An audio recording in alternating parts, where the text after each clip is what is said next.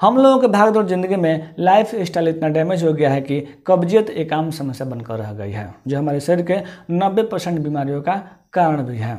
कब्जियत एक ऐसी समस्या है जिससे होती है वो सारा दिन परेशान रहता है, तथा अपने आप को वह बेटर फील कर नहीं पाता। स्टूल का हार्ड आना या कभी कभार न आना कब्जियत कहलाती है कॉन्स्टिपेशन कहलाता है।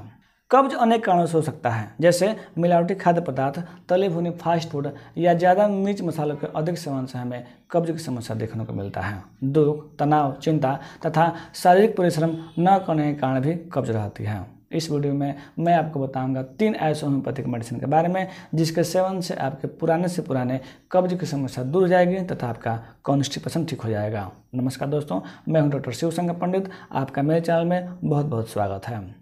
कॉन्स्टिपेशन की दो बेहतर मेडिसिन हैं ओपीएम तथा प्लम्बम मेटालिकम।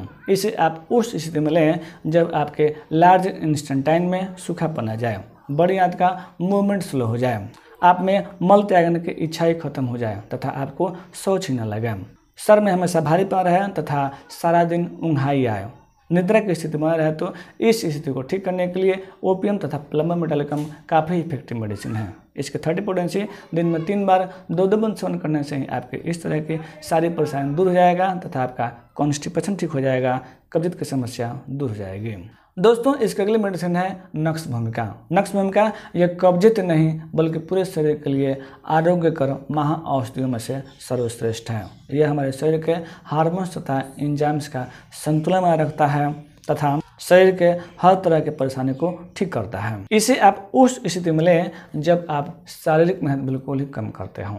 शायद दिन बैठकर अपने ऑफ़िस या कंप्यूटर पर दिन बिताते हों तथा आप में बार बार पाखाना जाने की हाजमा होती है। लेकिन हर बार आपका पेट पूर्ण रूप से साफ़ नहीं होता है।